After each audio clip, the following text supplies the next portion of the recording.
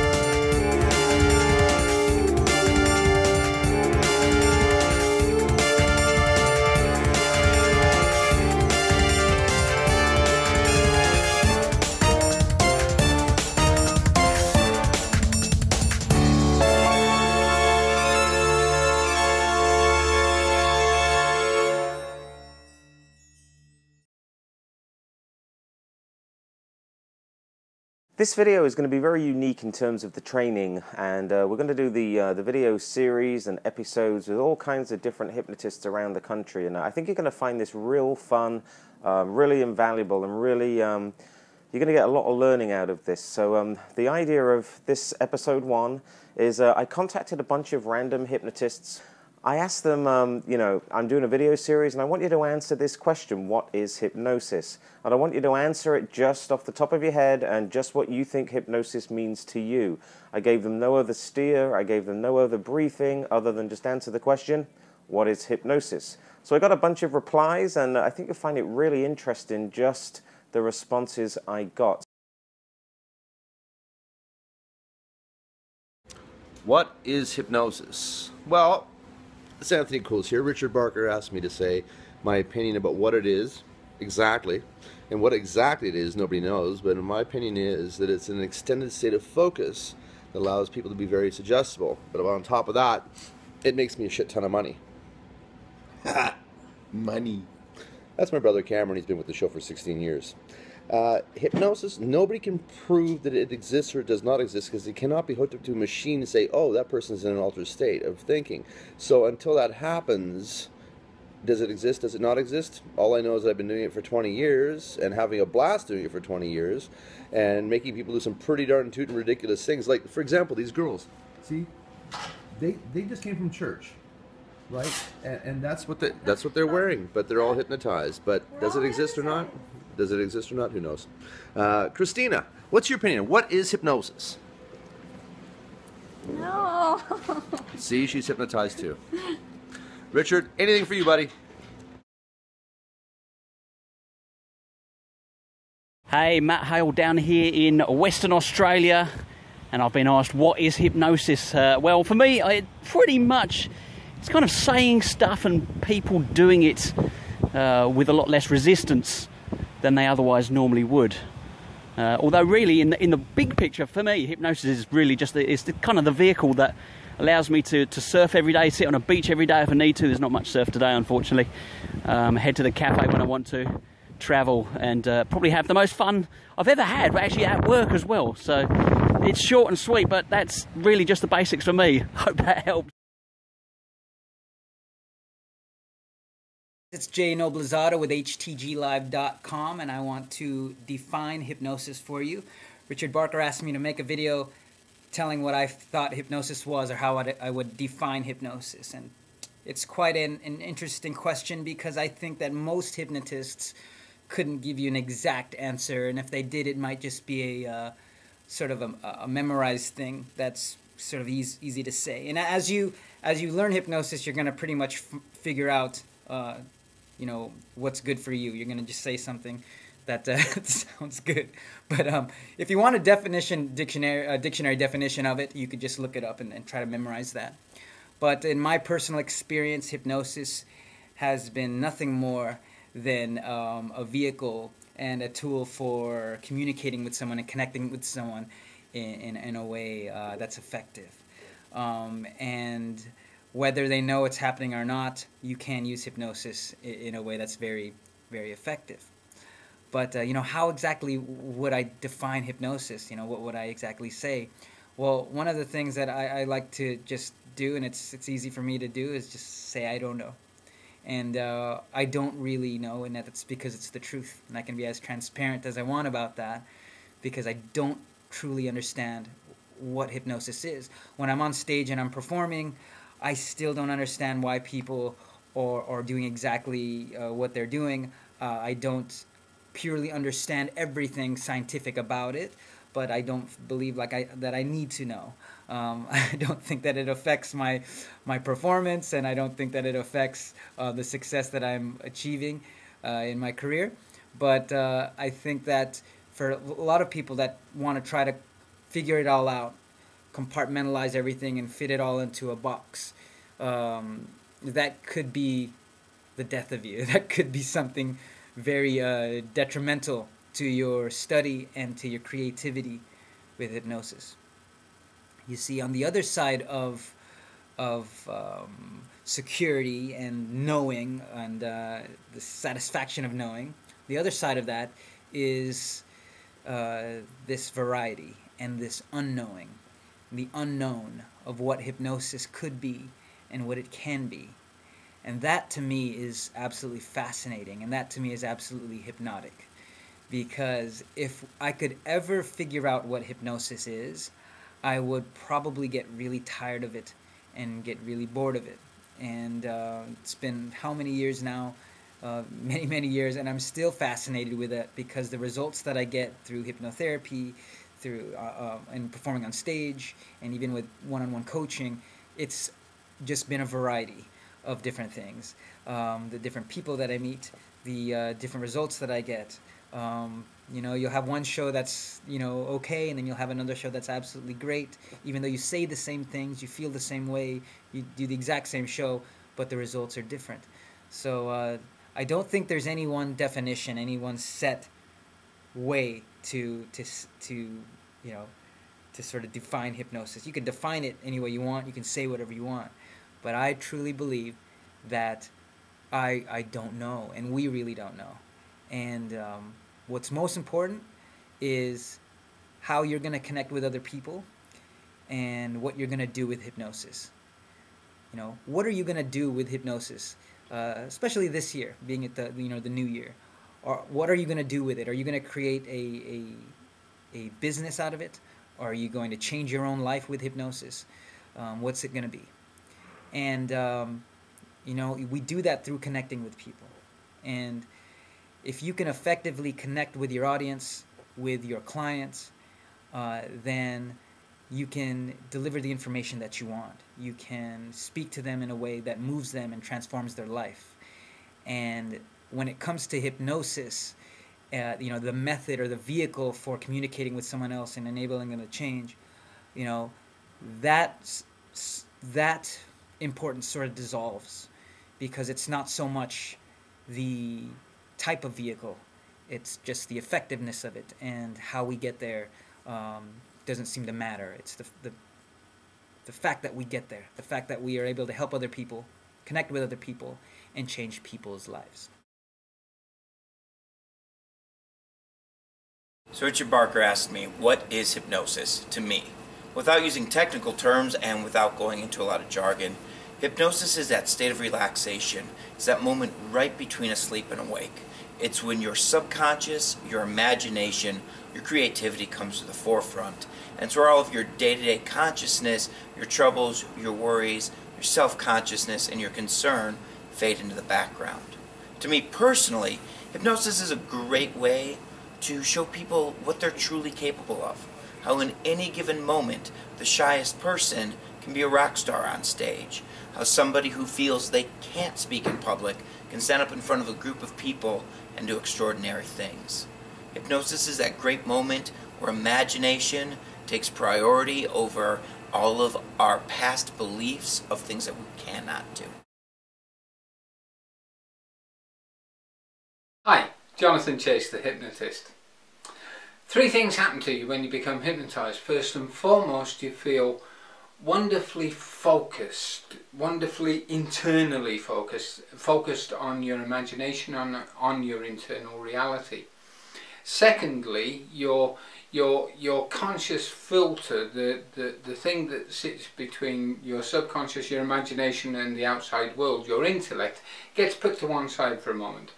So um, while you're hypnotized, that that may be observing that process, that mental process may be observing and it may be watching you and watching what's going on, but it's not actually involved in in what's going on. It's not involved in the beliefs or the behaviors that you're running at the time. And, and thirdly, and most importantly, certainly to the stage hypnotist, what happens is your inhibitions aren't just lowered, they don't just go away, but for the time that you're being hypnotized while your conscious mind's over here, you as the hypnotist become the hypnotist, that's the person being hypnotized, you become the hypnotist, conscious and their conscience. So you're creating the reality, you're giving suggestions, and you do that by giving suggestions. Now a suggestion is, is the induction, the creation, that's all the word induce means, to create a situation where you are creating a, a, a thought, a belief or a behavior in another human being in, in somebody else and they are responding to that. They, they're running that that script that you've given them and they're doing that without looking at what the conscious mind's doing. So they're just they're just working on their emotions and their imagination and and and that's what happens when when you become hypnotized. Now, normally, if this were a stage show, I would say a little white lie at this point because I would say that you can't be forced, cajoled, or persuaded to do anything that goes against your deeply held morals, beliefs, or principles. That's not entirely true. As I said, you become their conscious, you become their conscience. And while that happens, you are more or less in control of what they do, and more or less in control of um, what they think, what they hear, what they see, what they feel. And that internal reality being created by somebody else is um, is what hypnosis is. Hypnosis is also a word that describes the, the communication skills, the art of creating that situation in somebody else and leading them to it and making use of the fact that, that a lot of people can be easily suggested. The only time you're likely to see anything that comes close to hypnosis in a natural state is when you are drunk or when you are on drugs, when, when that conscious part of you is, is put to one side and your subconscious is running. Now, that means that being a hypnotist and hypnotizing people comes with a huge amount of um, of responsibility. As I said, you're their conscious and you're their conscience. On a neurological level, I don't know about all this research that apparently has been done on alpha levels and beta levels and delta levels and all that that we hear the hypnotherapy teachers spewing out all the time. The fact is that when you try and do the research on the research you find that there's not a lot of it going on and a lot of it is just myth. But I've, I've taught a couple of psychologists, one an emerite professor of psychology in Singapore, and I asked them, and they said that in their opinion, there's no difference between you when you're hypnotized and you when you're awake, apart from the fact that you don't have that conscious, that conscience, um, filtering out everything that comes from your subconscious mind. So, what's hypnosis? Hypnosis is a connection and a condition. It's a connection between the hypnotist and the hypnotee and it's the condition that that creates in the hypnotee. You want to know what hypnosis means to me. Well, can you see that in the background? See that beautiful blue ocean? The gorgeous, gorgeous, fantastic water like that. A nice sunset. I don't know if you've caught that right there. Isn't that fantastic? Okay. Hypnosis to me means cruising anywhere and everywhere in the world. I mean, places I never would have dreamed of visiting, or even that I would have the opportunity to visit these places. Ah, it's so nice. And getting to hypnotize wonderful people from all over the world, of all ages, of all backgrounds, everyone who really understands how wonderful and fantastic hypnosis can really be. And I'm about to show you the showroom here in a second. Usually we get about 30, 40 people up on stage. Theater holds about 700, 800 people. And it's all about having fun, having a great time. Usually I say, volunteers, come on, and they are up there on stage, ready to have fun and have a good time. I'm making my way to the theater right now. We're getting ready for our wonderful sail away here. So, uh, alright, we're going inside here now. Just one second, and I will show you what hypnosis means to me. Okay, can you see that right back there? We're going into the theater. Beautiful, absolutely fantastic. I'll turn this around here a second so you can see. Here we go. There's the stage. There's the empty seats. In a few hours, they will be filled with fans of hypnosis, people who want to participate and have a wonderful time and experience their own journey to the inside of their mind, a place that only they can go to to have fun, to make changes, to have all their dreams and goals fulfilled and come true. I hope you can appreciate hypnosis as much as I do and all of my wonderful volunteers do. All right, thanks for asking. Hypnosis is a way to tap into the subconscious mind, to rewrite the inner dialogue to break bad habits, achieve your goals, and live the life of your desire. In a stage show, we tap into your creative potential by relaxing you, building your confidence, and turning you into the star of the show. Hope that helps.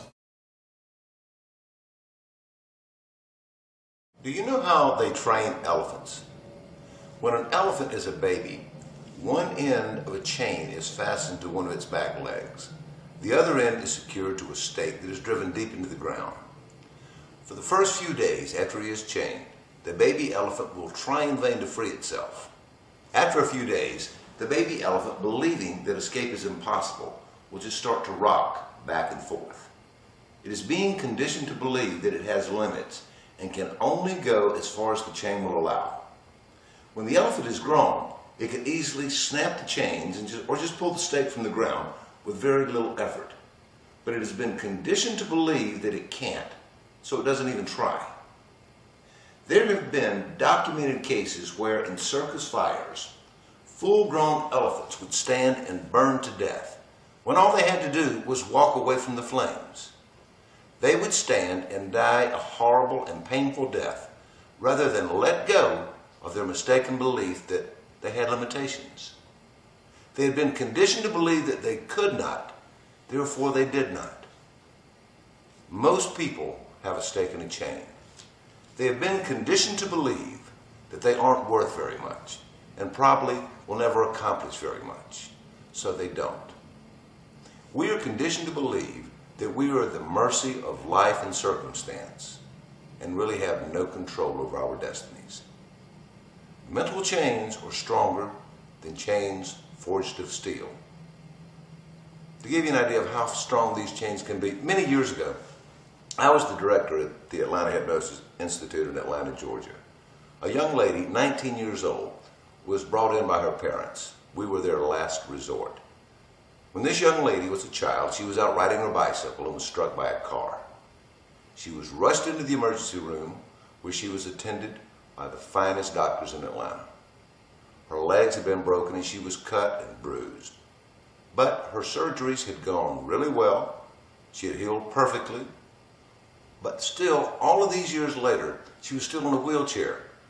The doctors had no explanation. The bones had healed, the muscles and nerves were all fine, yet she couldn't walk.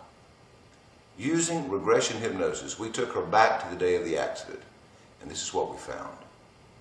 She had been given a sedative to knock her out because she was in so much pain. A student nurse, seeing the broken and bloody child, made this comment. Oh my God, that poor child. She will never walk again. The young lady's conscious mind had been sedated with the drugs, but her ever aware subconscious mind heard those words, believed them, and acted upon them. We removed those crippling suggestions and made them invalid, and within a few weeks with physical therapy, this young lady was up and walking. Think about that. She had missed dating and proms and sports and the most wonderful years of her youth because of a mistaken idea that her mind had accepted. Mental chains are forged from years of incorrect thinking. Where does this thinking begin? It's a fact that in this country, the greatest country on the face of the earth, this, the land of opportunity, only 5% of the population ever achieve any degree of success. That means that 95% of the people that we come into contact with are still prisoners of their own stakes and chains.